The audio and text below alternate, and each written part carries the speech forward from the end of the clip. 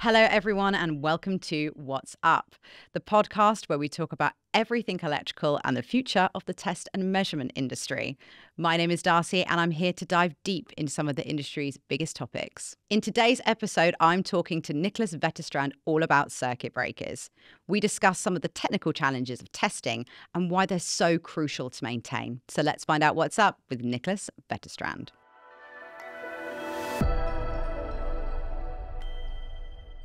Hello, Niclas. How are you doing today? Welcome to the Watt's Up podcast. Thank you. I'm doing great. How are you? I'm fabulous, thank you. And as you well know, we always start this podcast with something we call the power up questions. It's just three small, quick fire questions to get your brain thinking and so we can get to know you a little bit better. So, the big question are you ready for them? Yeah, it's good to wake me up. So, okay. let's start. Okay, great. Question number one What is your favorite forum or exhibition to go to?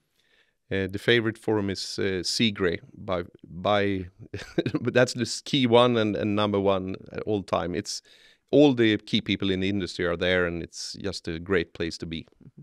Question number two, what is your favorite thing about Megger? My favorite thing about Megger is that we contributing to a better world with the uh, net zero goals and uh, changing from fossil to electricity. We are you part of it, and that's just amazing. And question number three: How many coffees do you drink in a day? That could be anything from zero, which is happening quite often. You actually. don't drink coffee. Yeah, but but uh, that it's not that I try to avoid it, but mm-hmm. sometimes, or or I would say many times, it could be like two, three, but not more than that. Mm-hmm. Great. So now let's get into the meat of it because today we are talking about circuit breakers. Yeah, not coffee. Yeah, not coffee. As much as we love it, we're here to talk about circuit breakers. So tell me, why are they so important that we're dedicating an entire episode to them?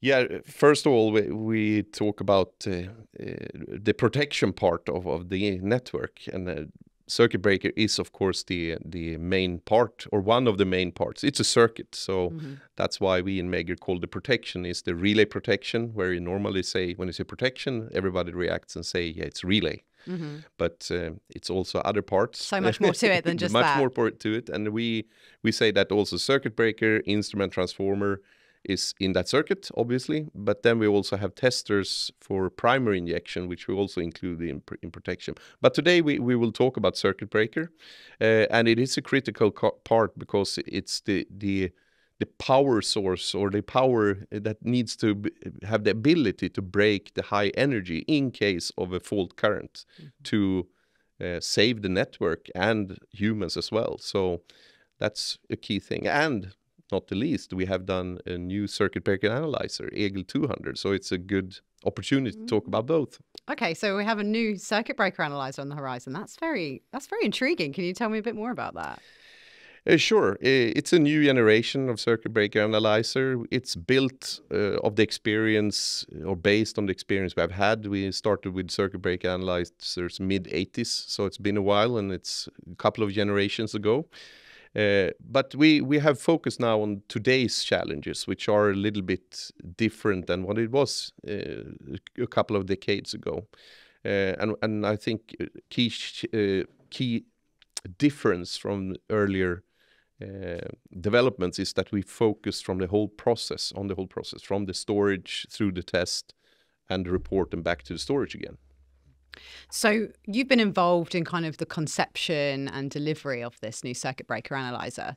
So can you tell me a little bit about why it's come to fruition and like how has the landscape actually changed? There are two parts of it you can say. One is that the fleet and the customer demands have changed. So the circuit breakers, uh, you can if we start with the circuit breaker part, uh, the reliability is getting better and better uh, doing reports. I've done surveys in the industry, and they started in the 70s. And at that time, it was 1.67 faults, major faults per 100 circuit breaker years. And that has, in the latest survey, gone down to uh, 0.3 major faults per 100 circuit breaker years. And, and of course, that is affecting how much we focus at the mm. asset. If, if the fault rate goes down, then it's less concern, even though you need to test it. However, the funny thing is that the the distribution where the fault is has been equal, the same from, from the start to the beginning. It's the operating mechanism that stands for the 70% of, of the faults. insulation 10% and interrupter 9% and then we have other categories as well. But so it's definitely the me- operating mechanism that's the majority of the faults. So you were talking there about i suppose the fleet changes but then when it comes to the customer demands like can you just delve into that a bit more? Yeah uh, the change there is that we have a much higher time and cost pressure nowadays uh, I, I would say and the network service demands that it should be up all the time. So you cannot take uh, assets out of service to make a maintenance as easy as, as before. So you can generalize a bit and say that you have two custom, customer categories. First, you have what was more common in the past that you were well prepared, you know your asset, you have uh, the ability to do advanced measurements and spend mm-hmm. a lot of time on doing that. Uh, and, and, we have a good product which covers that, the, the TM series.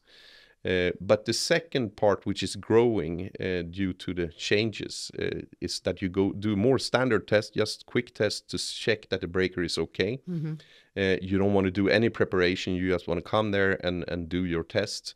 Uh, and I think it's changed there is that it's a lot of contractors doing this now, and and maybe you own a contract for three or four years, and the circuit breaker is tested every seventh year. So it may not be even be a test during yeah, the period they may not you even are see it. exactly. So so I think there's a that change is is significant that we have to uh, we have we have to uh, take for given that the the the the operator who comes there he doesn't know Mm-hmm. the the object and and just want quickly to make the standard test to check that it's all right so then when it comes to detecting problems within the circuit breaker themselves, like how would one go about that?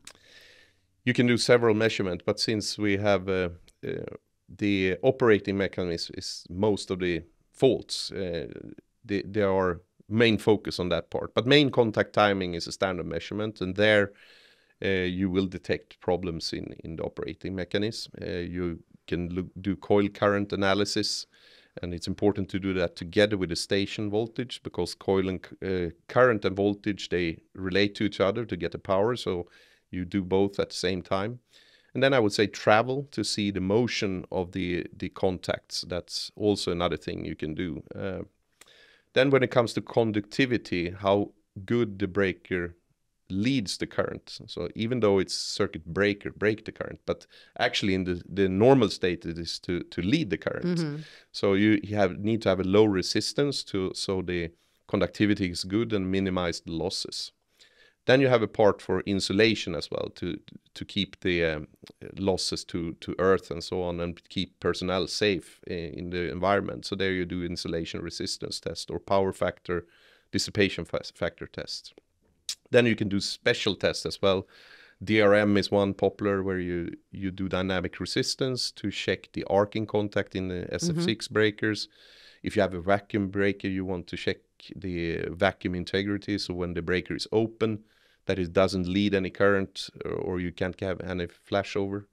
Uh, or vibration is another thing you, you can do just to get a signature of how the breaker sounds like uh, with the sensor. Uh, just to compare it with earlier tests if something has changed. Mm-hmm. So you've spoken then a lot about the testing that actually you can do to detect issues, but how are those tests then performed? First of all, you isolate the test object, so okay. so you you uh, have access to it. There are some online techniques as well, but I guess that could be a, an episode in itself. so we, we we keep that for for now. Mm-hmm. Uh, but then when you have the isolated object, you you make all connections to it, and it's a lot of connections. So in, in circuit breaker testing, I would say that most of the time is spent to make connections.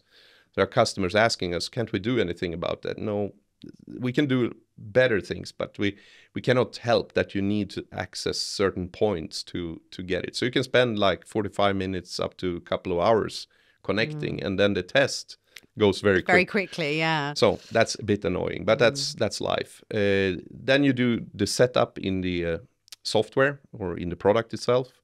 Uh, then the test itself like i said is super quick. It takes a few to make the actual measurement takes less than a second because mm. it's only a few hundred milliseconds but uh, then you do a series of tests. So you have to repeat and, and so on. So it, so it takes a couple of minutes maybe mm-hmm. maybe five ten minutes but longer than that, it's not. So then you you want after each test, you want to have a first view: did the test work out, or is, is it acceptable? Not from a detailed analysis, but just get the feedback. Do, do I need The to redo? reading, yeah. Uh, and uh, hopefully you don't have to redo Mm-hmm. anything. Then you can keep the result and and uh, go when you're ready with all tests. You can do more uh, thorough uh, analyze and uh, report. Mm-hmm. That's how it goes. So, Niclas, I want to talk about the EGIL 200. So, can you just explain to me, like, how is that different from maybe some of the earlier generations that are already on the market? Yeah, I would say the the main thing is that we have made the tests a lot faster, and not only the test, but everything to make it smooth as possible to walk through the test without compromising the measurement quality and and the accuracy and we so would on. never do that. no, that's not us. Uh, so going through a standard test now we talk about. So so the ta- standard test that's more common for the the contractors to do nowadays. To go that seamlessly through that as fast as possible. That's what we have focused at.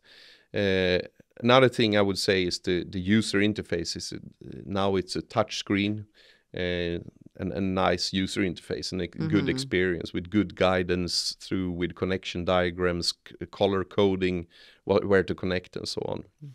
Uh, But if you take the the project itself when we developed it, we took a look at the whole process. So anything way from the storage to back to storage, as I said. So storage is one thing that you make sure that you have everything you need to test, that you know it's there, and when you pick your bags and going out to test, you know you have the stuff. Uh, so you don't have to go back and get. In some cases, you have to abandon or you cannot do the test. Uh, transportation, it's now made in a transport case directly, so you don't need a, an outer shell uh, of the product, so to speak. So you can ship it as it is, which is convenient. Unpacking and preparation, you have very good bags where, where the cables are structured, easy overview, which cables I need for this test, and and uh, and uh, yeah, the preparation gets easier with that. With that, you have a good overview and good guidance in the in the screen. Uh, the test itself are as before quite seamless, uh, but but anyhow, they, they are there. First review on screen since we have the the uh, uh, the f- uh, touch screen. It's easy to see the first test. And then the last thing I, I would say is the one-click report. So we spent a lot of time to to make the reporting as easy as possible. So now it's actually possible one click to get either a direct printout or save it as a PDF on a on a USB stick. So, that sounds like a lot of features, um, and they all sound great. But what are the benefits the customers are actually going to see with this? Yeah, the overall experience is is uh, is different with Okay. this one, but It's the whole package. yeah, really. exactly. But if we go into the key thing, which I talked a lot about, is the time saving. So saving time through test preparation and reporting are probably two key things where we are gaining a lot of time by avoiding a lot of preparation and uh, aftermath reporting.